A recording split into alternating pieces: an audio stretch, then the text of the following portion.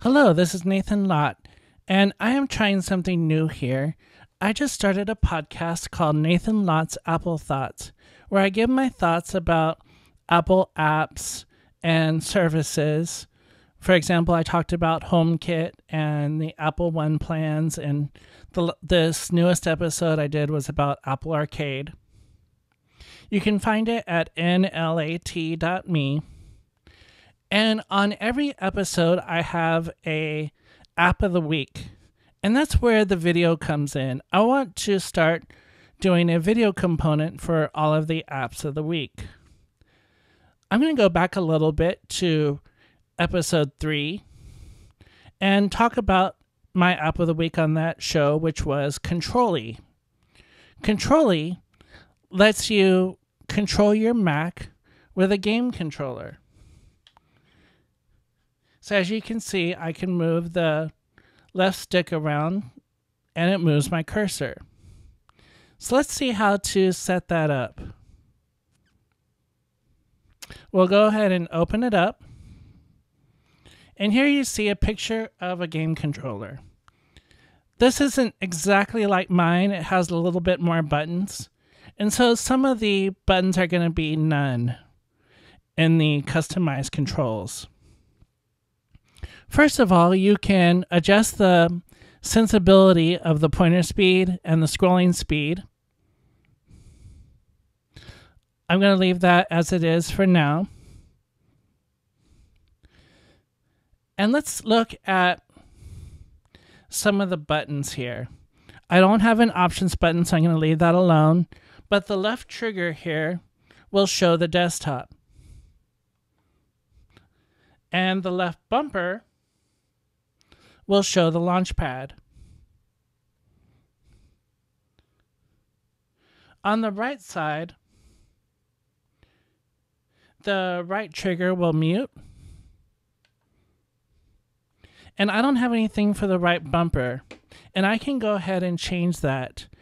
If I click on it, I can create a shortcut or there are mouse actions, playback controls, sound and brightness, and system conveniences like mission control, app expose, launchpad, and so on.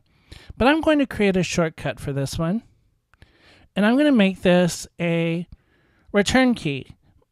Make sure that you check the recognize return and escape keys. So I'm going to press return.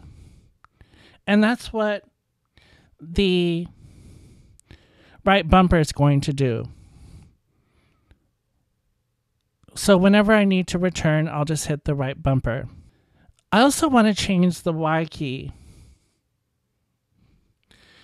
And I'm going to make that a quit key. So I'm going to do Command Q. And click Done. The B is a secondary click. A is a primary click. X plays and pauses music. And then over on the left, you have your D pad. I can, with the uh, up arrow, volume up, down arrow, volume down. Left is to skip back, and forward is to skip forward. And the left stick moves the mouse pointer, and the right stick will scroll. So let's kind of take a look at this in action. I'll go ahead and open mail. It's a little fiddly to get to where you want using the moving pointer with this with the gamepad. But then I pressed A to launch mail.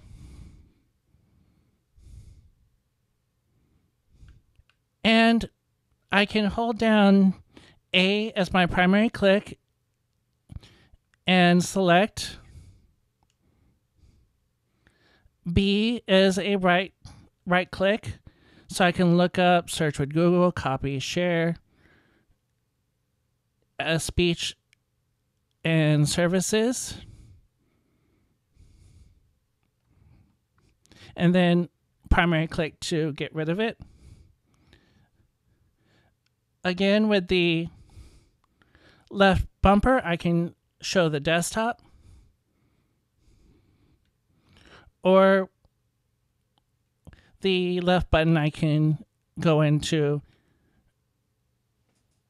mission control. Now remember that I Y is now a quit button, so let's quit mail. And let's go into my notes app.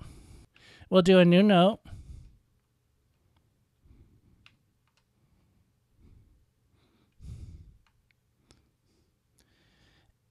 And I said the right click button above the bumper is return. So that works fine. And then there are music controls. So let's go into music. We'll hit Y to quit notes. And let's go into music. Double click the A button to start playing.